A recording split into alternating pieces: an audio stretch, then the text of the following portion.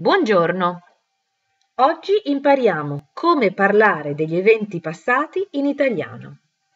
Per farlo si usa il passato prossimo. To talk about past events in Italian, we can use the present perfect, il passato prossimo. This is the first of two lessons on this topic. Per favore, prendete il quaderno e la penna. Please take your notebook and a pen. I will show you an email that an Italian girl, Giulia, sent to her cousins. In the email, she talks about what she did yesterday after school. Per favore, leggete l'email e fate una lista di tutti i verbi che trovate. Attenzione, non i verbi all'infinito, solo quelli coniugati. Please read the email and make a list of all the verbs you see. Careful, do not include verbs in the infinitive tense, just the ones that have been conjugated. Buon lavoro!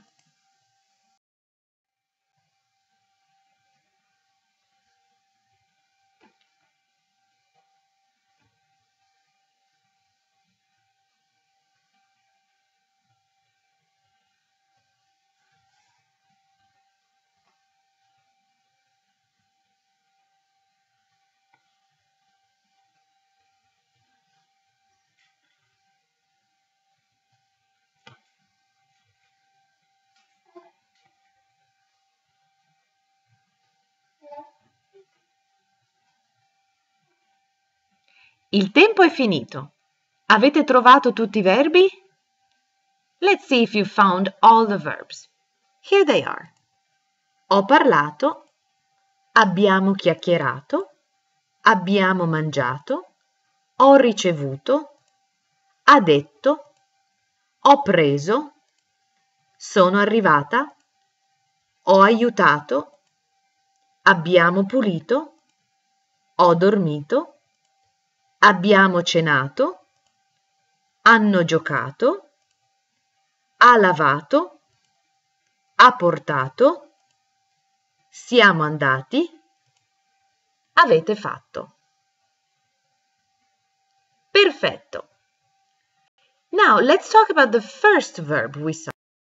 Ho parlato. As you can see, it's made up of two separate verbs.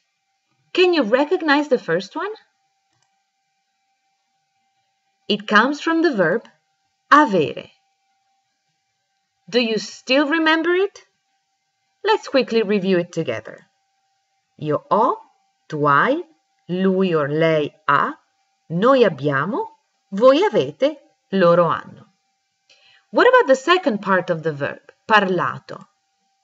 It comes from the infinitive parlare. But what happened here? We just took out, took out the ending and added ato. Good news! The ending ato is the same for all subjects. So what are these two verbs that we combine together to make up the passato prossimo? The first one is what we call an auxiliary verb, which means a verb that helps another one. The second one, parlato, is what we call past participle. So, the general rule to make the passato prossimo is an auxiliary verb, which for us is avere, plus a past participle. Benissimo. Let's have a look at the other verbs that we found in the email. Is there any other verb that acts exactly like ho parlato? I think so. What about the first one? Abbiamo chiacchierato. It has the form of avere per noi, and it has chiacchierato, which is the past participle of the verb chiacchierare. Now, can you please look at the other verbs, and whenever they end in ato, find out what form of avere they're using and what is the infinitive that the verb comes from.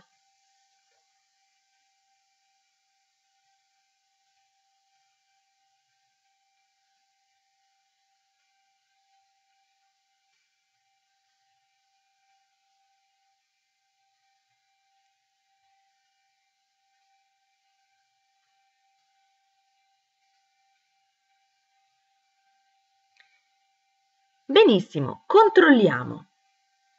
Abbiamo mangiato, mangiare. Ho aiutato, aiutare. Abbiamo cenato, cenare. Hanno giocato, giocare. Ha lavato, lavare. Ha portato, portare. Molto bene. Now I want you to look at ho ricevuto. This is slightly different from the others because it doesn't end in ato, it ends in uto. Can you guess the infinitive of the verb ricevuto? It is ricevere. And what about abbiamo pulito? Pulito comes from the verb pulire. And ho dormito? It comes from the verb dormire. So now, according to the information you already have, can you complete this chart about the past participle of the verbs are, ere, and ire?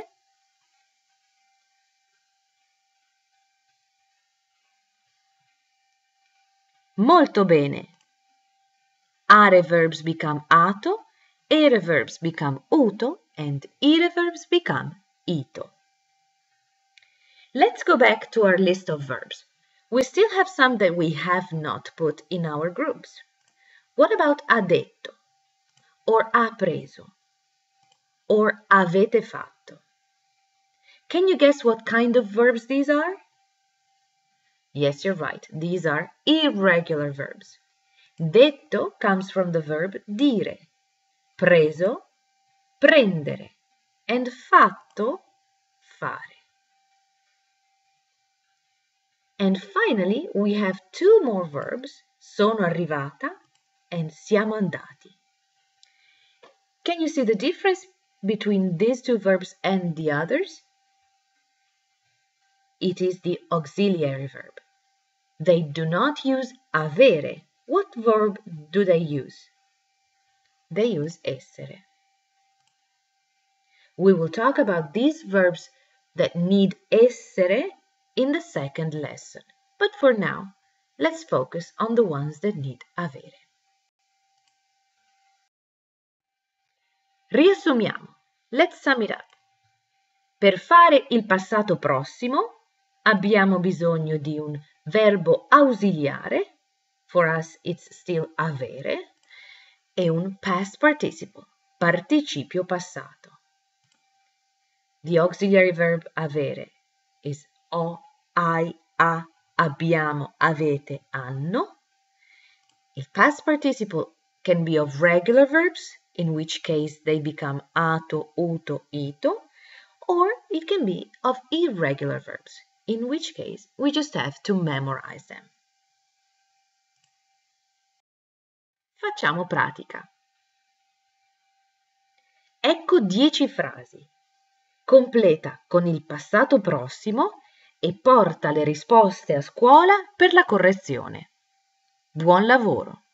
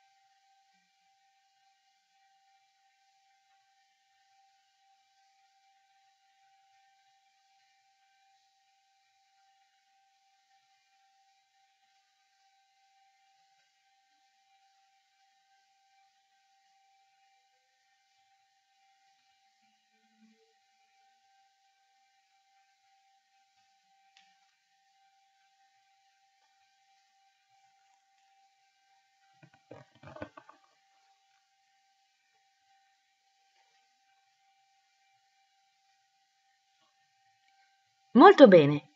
Il tempo è finito. Parliamo dei verbi regolari. We already know that dire becomes detto, prendere preso and fare fatto. Ma gli altri verbi? What about the others? Ecco una lista di verbi irregolari. These are some of the most common irregular verbs.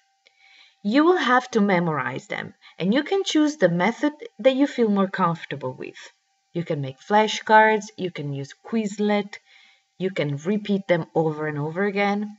For now, I need you to copy them in your grammar book, Italo. You need to pause the video and copy them down and show them to me tomorrow at school.